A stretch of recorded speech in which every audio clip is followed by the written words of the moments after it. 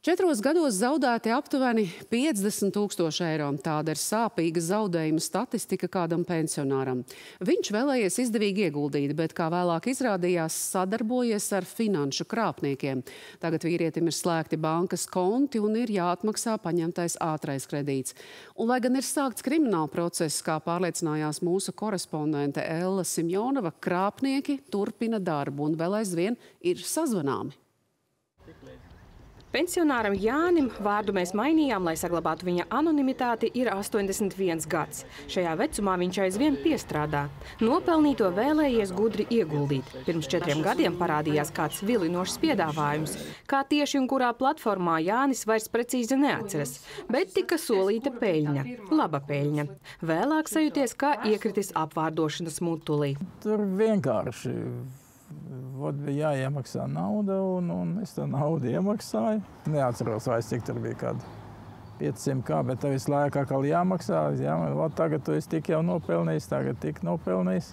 Tad viņi man zvanīja it kā kriptovalūtas policija, bet tāda pasaulē nav. Tad atkal uzrādās tāda visa mastercard.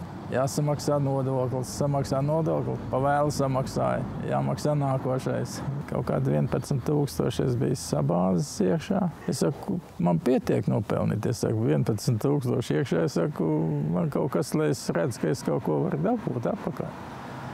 Un tad pazuda pavisam. Bet ar to viss nebeidzās. Uzrādījās firmas, kas piedāvāja naudu atgriezt, bet kriptovalūtā un par papildu maksu. Piemēram, kāds virtuālās valūtas maiņas punkts sarakstē krievu valodā, ko vīrietis saglabājis, imitē darījumu valodu. Konstatē, ka viņam esot pieejami 14,5 tūkstoši eiro, ko Jānis saņemšot, ko līdz iemaksās tā saucamo komisiju. Un Jānis arī maksājis. Šim nolūkam pat paņēmis ātro kredītu 5000 tūkstošu apmērā, kuri vēl aizvien ik mēnesi atmaksā. Un ļaunākais - instalējis datorā programmu, ļaujot krāpniekiem tikt pie sava norēķinu konta. Jānis saka, tā viņam nozaguši arī pensiju.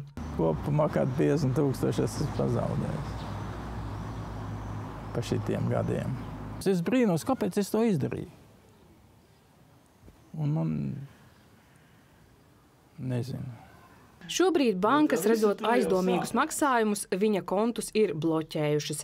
Kaut lieta jau ir policijā, viltus brokeri vēl aizvien sazinās ar Jāni. Šitādas te atsūta, un tad man jāsamaksā bija laikam, kad 600.